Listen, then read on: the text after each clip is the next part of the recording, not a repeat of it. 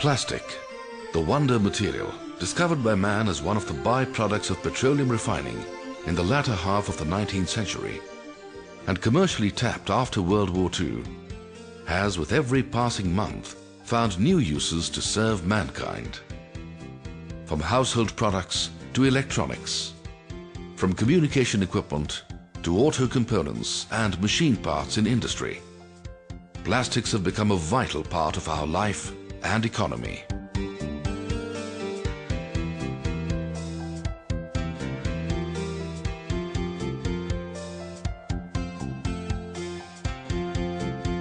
If you ask me as a housewife, I would say plastic offers the best packaging and storage material, be it milk, oil or food grain. I trust plastics.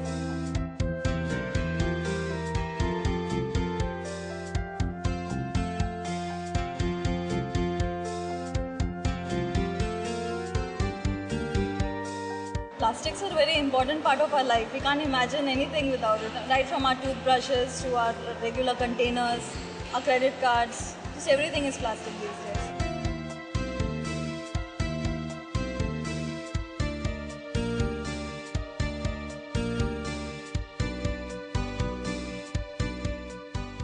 Come to think of it, this 21st century is the age of electronics, and you cannot think of electronics without plastics.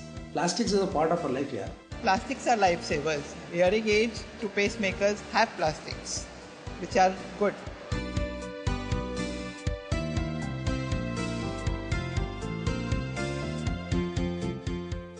Yeah, plastics are lifesavers because this is an intensive care area I am working in, and uh, you are seeing that. Uh, see, my uh, ventilator, uh, my ventilator tubings through which I am supplying oxygen to the patient, my IV fluids, even blood bags, and my monitors, my uh, infusion pumps with, through which I am giving life-saving drugs to the patient.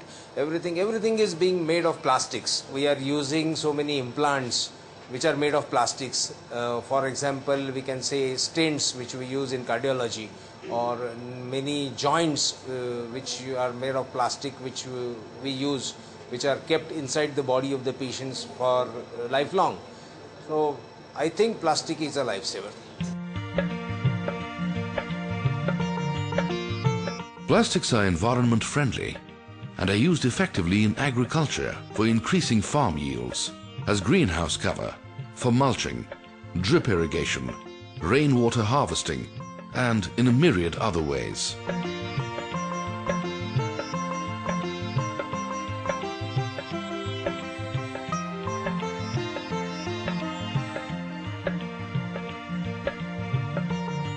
I think we should think a lot before we put the plastic waste that pollutes the environment. Uh, we throw away all these bags into the drainage that chokes them. So we should be uh, more careful about that. City of Mumbai presently generating around 9,000 tons, metric tons of garbage per day, and it's really a really a huge challenge before the municipal administration to keep the city clean. Delhi generates 7,000 tons of municipal waste daily. Kolkata 8,000 tons. India's cities and towns generate 50 million metric tons of garbage every day. Landfills are very limited and are getting choked, turning out to be great health hazards. This solid waste management itself is an integrated system of keeping the city clean. That means we have to have the arrangements right from the house or source of the garbage, from uh, storage, collection, transportation and disposal and processing of the garbage. All if any of this system is weak, if any of this link is weak, then the system may collapse. We expect that the plastic uh, component is around 6% by weight in uh, municipal solid waste. All the plastic is not causing the problem. We have observed that the small micron size bags they are creating the problems because its resale value is very less. Actually ऐसा है कि बम्बई में पंद्रह से बीस हज़ार तक औरतें और थोड़े से मर्द हैं और छोटे बच्चे भी चुनते हैं कचरा तो पंद्रह से बीस हज़ार तक लोग कचरा चुनते होंगे। लेकिन इससे ही ज़्यादा और लोग उस, उसका सॉर्टिंग उसका ट्रांसपोर्ट तो पूरे एक बिज़नेस में बहुत सारे लोग साठ सत्तर हज़ार तक लोग से ज़्यादा भी हो गए शायद वो है। म्यूनसिपाली ने उनको जो हाउस टू हाउस कलेक्शन है घरों घरों से जो कचरा उठाना है इस स्कीम में इनको लेना है।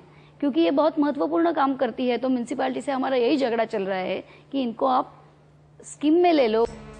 Mumbai municipality and the plastic industry's nodal body, the Indian Centre for Plastics in the Environment, have joined hands in parts of Mumbai for door-to-door collection of segregated waste as wet and dry. Using rag pickers who are organized by NGOs like Stri Mukti Sangatana and Force.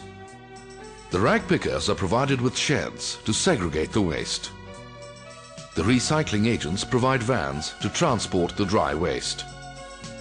Rag pickers get paid by the weight of the waste they bring in. On an average, they earn 80 to 100 rupees a day, and sometimes even more.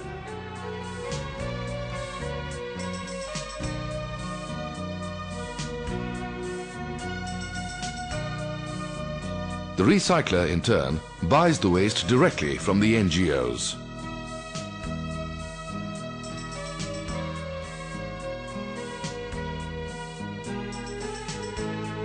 There is a huge recycling industry that is running parallel to the plastics industry.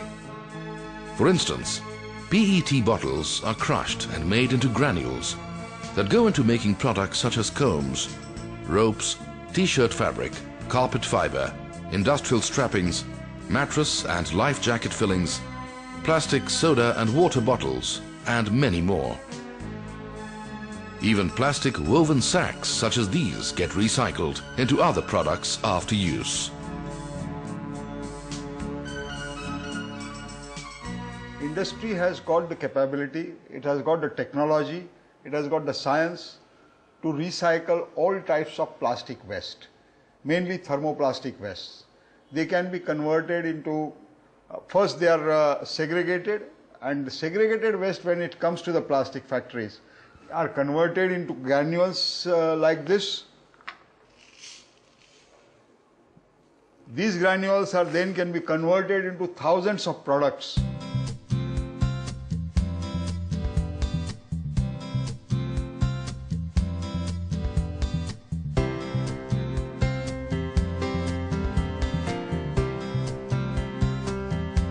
Most of us are not even aware that so many of the plastic products we use in our daily lives are made of recycled plastic.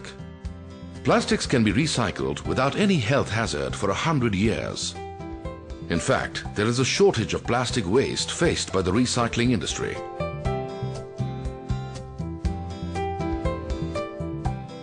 It is no exaggeration to say that we can achieve a zero waste situation, says Harish Dugar, the recycling expert.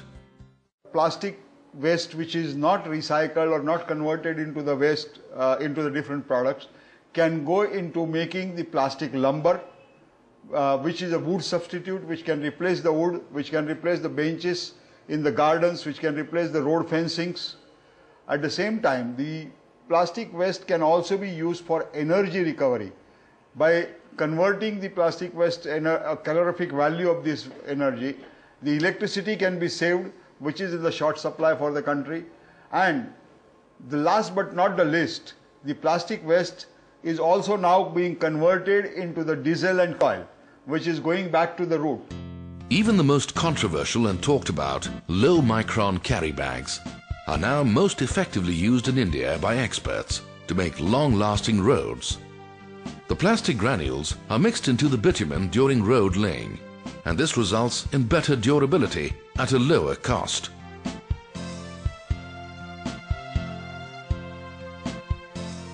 Annually, the Indian plastics industry recycles more than 2 million tons of waste. This also means literally creating wealth from waste by manufacturing over a thousand different useful products valued at over 15,000 crore rupees. In the process, it gives employment opportunities to well over three and a half million people.